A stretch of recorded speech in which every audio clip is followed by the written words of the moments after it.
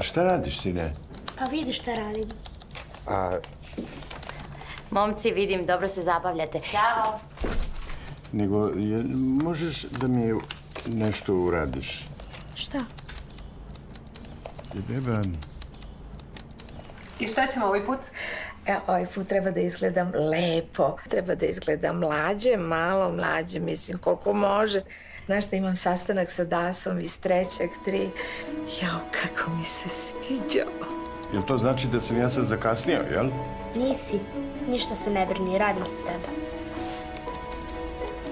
Ma nema, ne, ne je važno, kupit ću sveće. Ma opušteno, samo mi daj broj tvog računa. A zašto broj računa? Hoću samo ti uplatim te parfem online. I gotovo.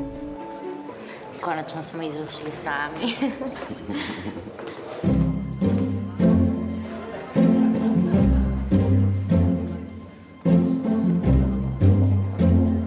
Tata, otko ti?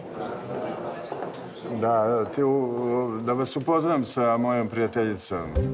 Ljudmila, ona je moja drugarica iz gimnazije. Nismo se vidjeli već 30, 40 godina, jel?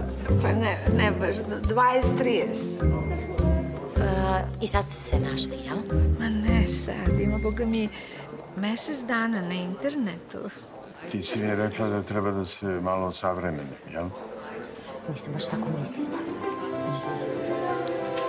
Nove veštine za novo doba. Digitalna pismenost.